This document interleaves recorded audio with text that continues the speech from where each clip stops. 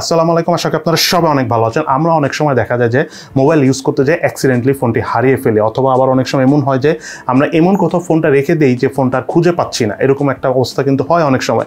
So আজকের ভিডিওতে আমি দেখাবো যদি আপনি কোনোভাবে ফোনটা হারিয়ে ফেলেন, সেই ফোনটাকে আপনি খুব ইজিলি কীভাবে ট্র্যাক করে বের করবেন এবং তার পাশাপাশি আপনি যদি আপনার ফোনটা ভুলে কোথাও রেখে দেন, সেটাও খুব কীভাবে ইজিলি বের করে ফেলবেন। এবং আজকের এই ভিডিওতে আমি মানে মোবাইলে যে ট্র্যাকিং বা হারানো দেখাবো, তার জন্য আমরা এই ফোনটা ইউজ করব। সো এই ফোনটা ধরেন আমি দেখাই দেবো হারিয়ে গেছে। পরে আমরা কীভাবে খুঁজে বের করব সেটা আমি দেখাবো। সো পুরো ভিডিওটি কিন্তু আজকে খুবই ইম্পর্টেন্ট মনোযোগ সহকারে শুরু থেকে শেষ পর্যন্ত দেখবেন এবং চেষ্টা করবেন আপনার আশেপাশের মানুষের সাথে এই ভিডিওটি শেয়ার করে দেওয়ার জন্য। সো পুরো ভিডিও জুড়ে সঙ্গে থাকব আমি ফারাবি। আপনারা দেখছেন প্রযুক্তি। চলুন তাহলে শুরু করি। ফোন ট্র্যাক করার জন্য প্রথমে আমাদেরকে জিমেলেই যেতে হবে। জিমেলে যেয়ে আমাদেরকে আই মিন লগ করতে হবে প্রথমেই।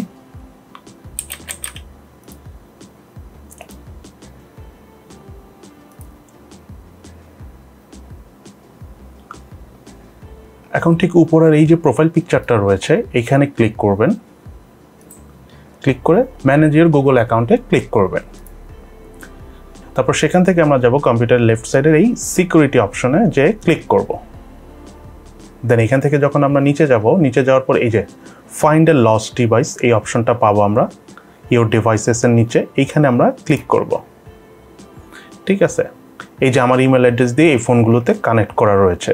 আপনারা আবার দেখে অবাক হয়ে যান না আসলে মেনলি আমি ইমেল অ্যাড্রেসটা ইউজ করা হয়।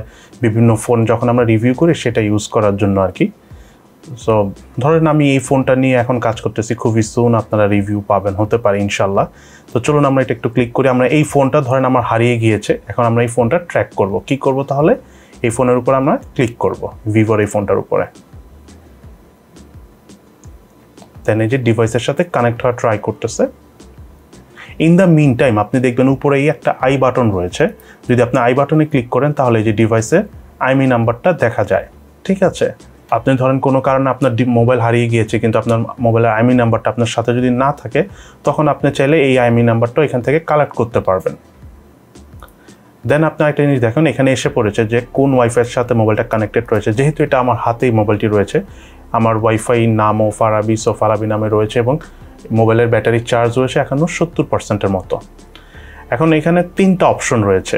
নাম্বার ওয়ান হলো প্লে সাউন্ড আপনি যদি এটা ক্লিক করেন, তাহলে যে জিনিসটা হবে, দেখুন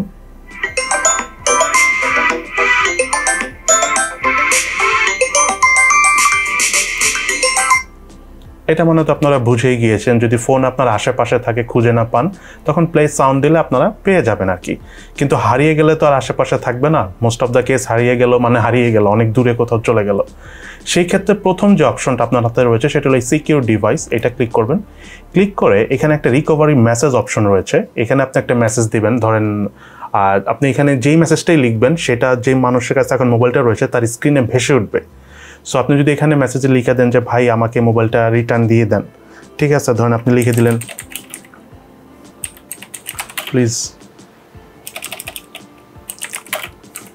return my phone to this address দিয়ে তারপর ধরুন আপনি আপনার একটা ফোন নাম্বার দিয়ে দিলেন, ঠিক আছে? তখন যে বিষয়টা হবে যে, আপনার এই মেসেজটা এবং এই ফোন নম্বরটা যে মোবাইলটা আপনার হারিয়ে গিয়েছে, এই মোবাইলের ডিসপ্লেতে শো করতে থাকবে। অর্থাৎ আপনার মোবাইলটা যদি যে নিয়ে থাকবে, সে যদি ভালো মানের মানুষ হয়ে থাকে, ভালো মনের আই মিন সেক্ষেত্রে হতে পারে সে আপনার এই ফোন নম্বরে কল দিতে পারে, আপনার এই মেসেজ দেখে দেন আপনার সাথে যোগাযোগ করে এমন হতে পারে ফোনটা রিটার্ন করে দিতে পারে। বাট যদি দেখেন যে না, কোনো অপশন নাই, সে আর যোগাযোগ করতেছে না, এই অপশনটা মানে সিকিউর ডিভাইস ইউজ করার পর মেসেজ দিয়েছেন বাট স্টিল তার কোনো খবর নাই, তখন আপনি ধরে নেবেন যে এটা অতিরিক্ত ভালো মানুষের হাতে চলে গিয়েছে এটার হয়তো বা খুব একটা সম্ভাবনা নাই, আপনাকে কল দিয়ে ডিভাইসটা রিটার্ন দেওয়ার সেক্ষেত্রে আপনার যেটা অপশন রয়েছে আপাতত, সেটা হলো ইরেজ ডিভাইসে ক্লিক করবেন। দেন আপনি যদি ইরেজ করেন, তাহলে এই মোবাইলের ভিতরে যা রয়েছে সব কিছু ডিলিট হয়ে যাবে। অ্যাটলিস্ট আপনি ধরেন যে আপনার ফোনে যদি কোনো পার্সোনাল ছবি থাকে, আপনার ফোনে যদি পার্সোনাল কোনো ইনফরমেশন থাকে ডেটা থাকে, অনেক সময় বিকাশের ইনফরমেশন থাকে, তারপরে দেখা যায় যে মোবাইলের ইম্পর্টেন্ট ফোন নাম্বার থাকে ব্যাংকের ইনফরমেশন থাকে ইম্পর্টেন্ট দেখা যায় যে ইমেলে লগ ইন করা থাকতে পারে। সো এইসব জিনিসও কিন্তু অনেক ডেঞ্জারাস বিষয়। দ্যাটস আপনি যেটা করবেন ইরেজ ডিভাইস ক্লিক করে দেন আপনি আপনার মোবাইল থেকে সব কিছু মানে এই মোবাইল থেকে সব কিছু ডিলিট করে দিতে পারবেন। আচ্ছা আরেকটা ইম্পর্টেন্ট জিনিস আপনাদের আমি বলতেই ভুলে গেছি, খুবই ইম্পর্টেন্ট এই যে ডিভাইসটা আছে না, এখানে কিন্তু দেখাচ্ছে কোথায় রয়েছে। আপনি যদি এখানে ক্লিক করেন, তখন আরেকটা নতুন পেজ ওপেন হবে, সেখানে কিন্তু দেখিয়ে দিবে যে ডিভাইসটা এখানে রয়েছে এবং ডিভাইসটা যেই বিল্ডিংয়ে রয়েছে, সেই বিল্ডিংয়ের আউটলুকটাও কিন্তু দেখিয়ে দিচ্ছে। সো আপনি চাইলে মনে করেন যে পুলিশ টুলিশ নিয়ে ডাইরেক্ট এখানেও চলে যেতে পারেন। যদি দেখেন যে কোনোভাবেই সম্ভব হচ্ছে না এবং আপনি অলরেডি ঠিকানা দেখতে পাচ্ছেন এবং সে কোনোভাবে আপনার মেসেজ পেয়ে যোগাযোগ করতেছে না, তখন আপনি খুব ইজিলি এই অ্যাড্রেসে যে পুলিশ নিয়ে ধরে ফেলতে পারবেন। এটা কমপ্লেক্স কিছু না আর কি। খুবই সিম্পল একটা বিষয়। সো ঠিক এইভাবে আপনারা মোবাইল ট্র্যাকিং করে বের করে ফেলতে পারবেন। বাট একটা বিষয় আপনাদেরকে আমি একটু ক্লিয়ার করে বলে দিই। নাম্বার ওয়ান হলো আপনার মোবাইলে কিন্তু ইন্টারনেট অন থাকা রাখতে হবে। সো এটা একটা মেজর বিষয়। কারণ ইন্টারনেট যদি আপনার অফ থাকে, তাহলে আপনার মোবাইলটার সাথে কানেক্ট করতে পারবেন না। বাট আইমি ইনফো এইসব সব কিছুই নিতে পারবেন। দেন সেকেন্ড একটা বিষয় হলো, আপনি এর মাধ্যমে আপনার ধরেন যে মূলত অ্যান্ড্রয়েড ফোনগুলো আপনি ট্র্যাক করে বের করতে পারবেন। বাট দেখা গেল যে আপনার বাটন ফোন যদি হারিয়ে যায়, তাহলে আপনি ওইটা ট্র্যাক করতে পারবেন না। এটা খুবই স্বাভাবিক, কারণ বাটন ফোনে তো আর আপনি লগ ইন করবেন না ইমেলও ইউজ করবেন না সো কোনো প্রুফ থাকবে না।